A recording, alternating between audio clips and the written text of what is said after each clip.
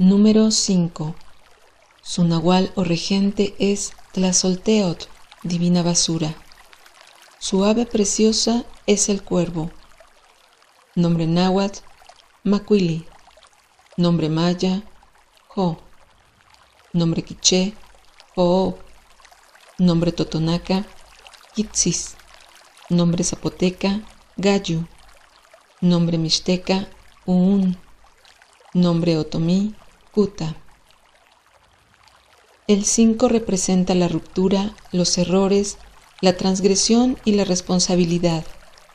Es indiferente ante los aspectos positivos y negativos del signo acompañante, pero si su influencia se asume con espíritu reflexivo, augura éxito.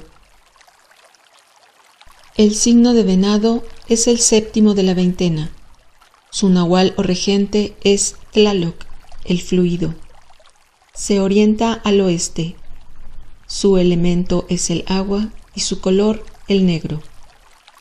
Su horario de máximo efecto es el atardecer. Su componente humano, las emociones. Nombre náhuatl, Mazatl. Nombre maya, Manik.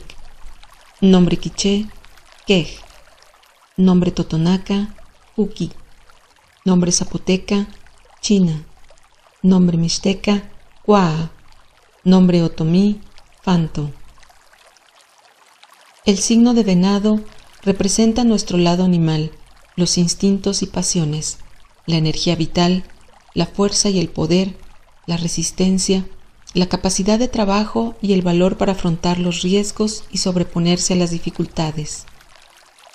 En nuestra historia personal, el venado simboliza a los padres y las actividades que hemos emprendido como adultos. En los días en que rige venado, vale la pena realizar un esfuerzo extra para conseguir aquello que anhelamos. Sus nativos tienen gran capacidad para trabajar, triunfar y ganar riquezas, también para desarrollar una intensa y grata vida sentimental y sexual. Es valiente y reflexivo, por lo que toma riesgos calculados y generalmente tiene éxito.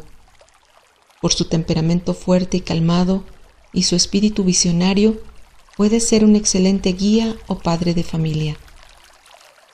En el aspecto negativo, el venado no se contenta con nada, por lo que se desanima con facilidad.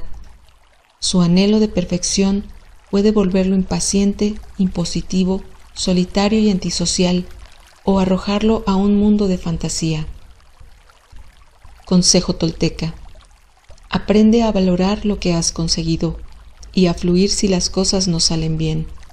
Ten paciencia con los demás, no los dañes. No olvides tus responsabilidades y cumple con gozo con los compromisos que contraes.